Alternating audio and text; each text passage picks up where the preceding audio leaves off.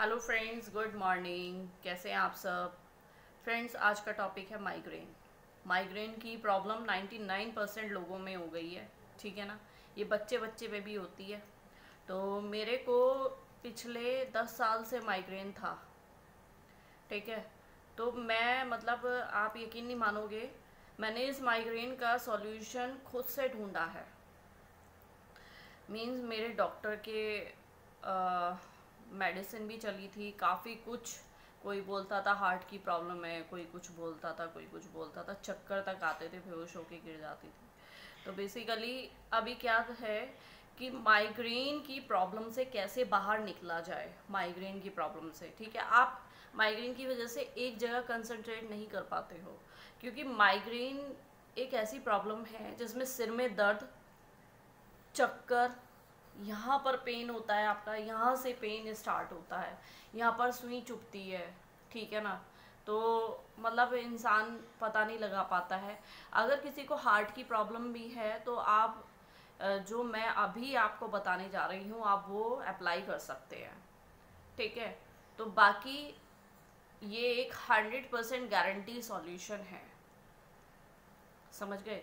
मैं आपको कुछ सावधान पूर्वक सावधानी पूर्वक आपको कुछ बातें बताना चाहूँगी। जिन जिन लोगों को सबसे ज़्यादा माइग्रेन है, सबसे ज़्यादा माइग्रेन है, ठीक है ना? वो एक तो जॉगिंग ना करें। वो मेडिटेशन ना करें, क्योंकि मेडिटेशन से और ज़्यादा चक्कर आएँगे उनको। समझ गए? मेडिटेशन से सिर्फ़ आप ध्यान लगा सकते हो और कुछ नहीं। जब आपको माइग्रेन है, आप एक जगह कंसंट्रेट नहीं कर पाओगे। तो ध्यान कहाँ से लगा पाओगे? इसलिए आप माइग्रेन में मेडिटेशन तो बिल्कुल भी मत कीजिएगा। इट्स अ वेरी हार्मफुल ठीक है? दूसरा दूसरा मैं आपको बताने जा रही हूँ कि जो हार्ट पेशेंट होता है, उसके लिए भी ये एक्सरसाइज या आप योगा मानिए, कुछ भी मानिए, ठीक है ना? ये बहुत बहुत ज़रूरी है। बहुत ज़्यादा। चाहे किसी को, क्योंकि इसका लिंक सीधा ब्रेन से होता है। हार्ट का लिंक सीधा ब्रेन से होता है और सारी प्रॉब्लम्स यहीं से स्टार्ट होती है माइग्रेन की हो चाहे हार्ट की हो। समझ गए? सारी प्रॉब्लम यहाँ से स्टार्ट होती है, यहाँ से और यहाँ आती है। समझ गए? यहाँ आती है, इसलिए बी रेडी कि मैं आपको जो बताने जा रही हूँ। समझ गए? इसमें देखिए, मैं आपको पहले ही एक इंस्ट्रक्शन दे देती हूँ, जिसको भी सबसे ज़्यादा माइग्रेन है, वो इस एक्सरसाइज को एक दिन में दो बार करें।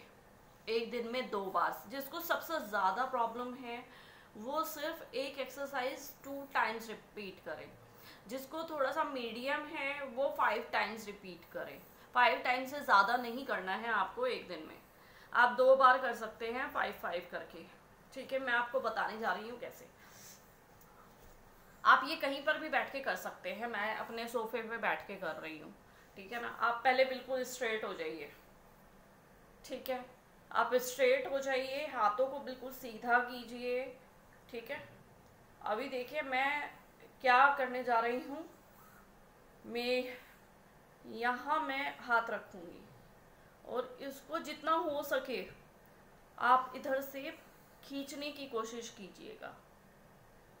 ठीक है? इधर। जितना हो सके आप इधर से खींचने की कोशिश कीजिएगा अगर कोई आपकी हेल्प करता, कर सकता है घर में तो आप ये चीज़ पकड़कर और ऐसे जितना आप खींचेंगे, उतनी आपकी नसें खुलेंगी। ये देखिए। माइग्रेन में क्या होता है कि जो ये हमारी जो बोन होती है, ये स्ट्रेट होनी चाहिए। समझ गए? ऐसे होनी चाहिए, ऐसे। और ये ऐसे हो जाती है। समझ गए? जिसकी वजह से जो हमारा जो ब्लड सर्कुलेशन वाला जो नर्व है, वो दब जाता है और ब्लड सर्कुलेशन प्रॉपर तरीके से नहीं हो पाता है, उसकी वजह से क्या होता है? हमारे हार्ट पे प्रेशर पड़ता है और माइंड पे प्रेशर पड़ता है, जिससे ब्लड सर्कुलेशन प्रॉपर तरीके से नहीं हो पाता है। इसको जितना प्रेस करेंगे, उतना ज़्यादा बेटर है। ऐसे आप कर सकते हैं। अगर कोई है आपके घर में तो आप ऐसे कर सकते हैं। ऐसे कर सकते हैं। देखिए, मैंने टू टाइम्स किया। ठीक है? फिर थ्री टाइम्स ये बिल्कुल हंड्रेड परसेंट गारंटी का इलाज है। आपको किसी मेडिसिन की ज़रूरत नहीं पड़ेगी। ये मेरी गारंटी है। अब आप क्या करेंगे? यहाँ।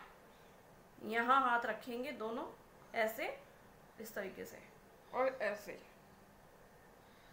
गर्दन को जितना नीचे ले जाएँगे उतना ज़्यादा बेटर होगा।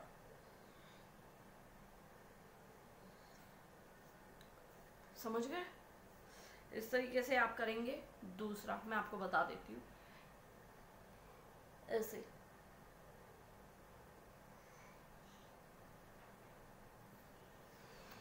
जितना ज़्यादा पीछे ले जाएँगे, उतना ज़्यादा बेटर होगा। सारा स्ट्रेच यहाँ पर पड़ना चाहिए, यहाँ पर। मैं आपको दूसरा बता देती हूँ। ये। ये आप यहाँ करेंगे। ऊपर की साइड खींचेंगे गर्दन और कंधे नीचे जाने चाहिए।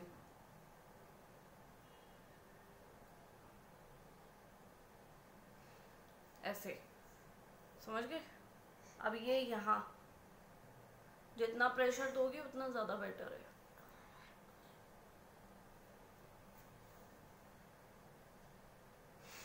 एक लंबी सी सांस छोड़ेंगे। फिर स्टार्ट करेंगे।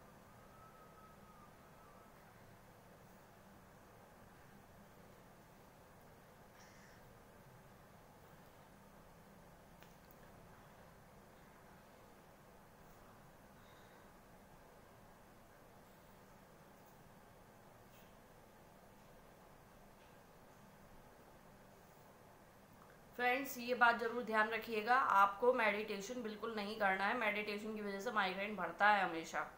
समझ गए? इसको हार्ट पेशेंट भी कर सकते हैं। हार्ट पेशेंट्स को भी क्या होता है? उनकी भी नसें ही ब्लॉक होती है। वही सेम प्रॉब्लम होती है। आगे जाके आपका बीपी वगैरह में ये माइग्रेन की जो प्रॉब्लम होती है वो बहुत ज़्यादा बढ़ जाती है। ठीक है? बीपी में भी बहुत ज़्यादा हार्मफुल होती है और हार्ट में भी। सो so, इसलिए प्लीज़ इस एक्सरसाइज को आप करेंगे। गारंटी है मेरी कि आप दो महीना इसको कर लीजिए रेगुलर सुबह और शाम, किसी भी तरीके से। ठीक है? जिनके पास टाइम नहीं है, वो एक टाइम तो निकाल ही सकते हैं। समझ गए? और इसको आप सुबह सुबह कीजिएगा और शाम को भी आप कर सकते हैं। या सोने से पहले आप करें। और तकिया नहीं लगाना है। अगर आप तकिया लगाएँगे तो मैं आपको बता देती हूँ तकिया कैसे लगाना है। एक मिनट